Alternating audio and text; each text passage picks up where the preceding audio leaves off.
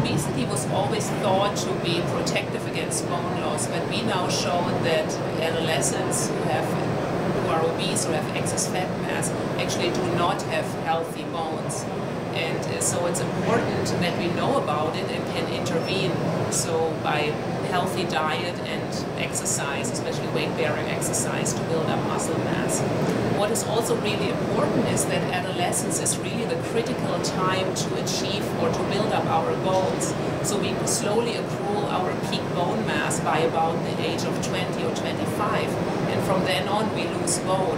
So if you don't really build up enough bone mass in the adolescent time, which is really the critical time, then this has really dire yeah, complications later in life because these children will never reach their peak bone mass and will likely have fractures earlier and complications from bone loss. So that's why it's really crucial to study these adolescents and intervene